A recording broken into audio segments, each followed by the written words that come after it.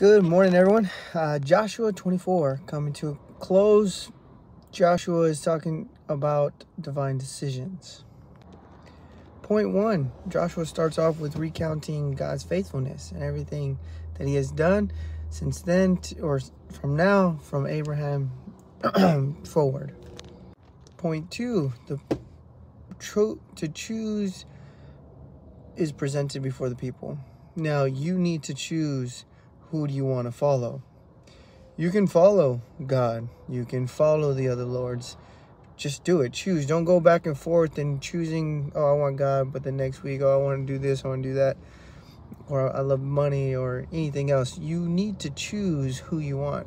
And this is where the great line me and my household chooses the Lord, right? Me and my household follows God. Point three, so that's when he reiterates, For me and my household, we serve the Lord.